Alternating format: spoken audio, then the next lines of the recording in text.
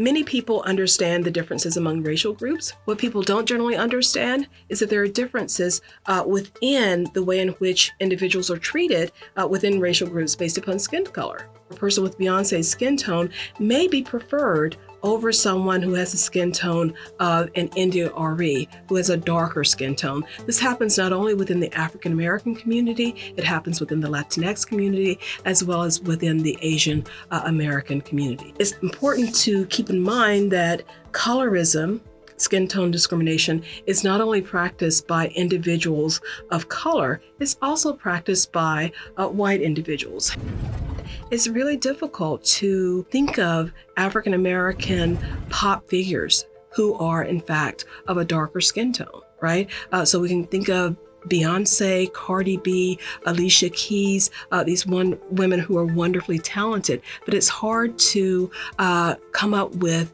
uh, similar equivalents. And the question becomes why? Why is it so hard to identify um, pop figures who are of a darker skin tone? And that shows that uh, there's an intersectional dimension between skin color, right, and gender right? Uh, the darker you are, the less desirable you are viewed uh, as being in U.S. society in terms of your sexuality, your accessibility, your desirability. When I started uh, studying skin color um, many years ago, I was aware of skin tone differences and their salience within the African American community. What I was unaware of was the global dimension of colorism. And I became uh, aware of the fact that color has significance within Asian and Asian American communities when I started traveling in Asia. Skin color has meaning in terms of socioeconomic class. The darker you are, the more likely you are to uh, be marked as a person who labors or toils in the field.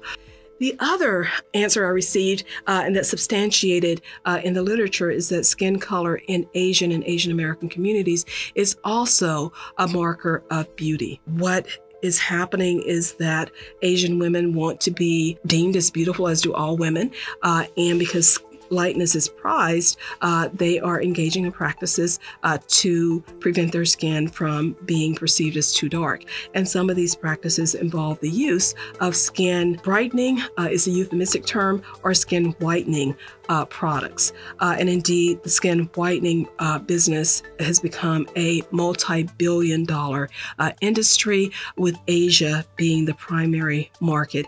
In 2010, this market was estimated to be approximately $10 billion, uh, and we estimate that it may be about $23 billion in 2020.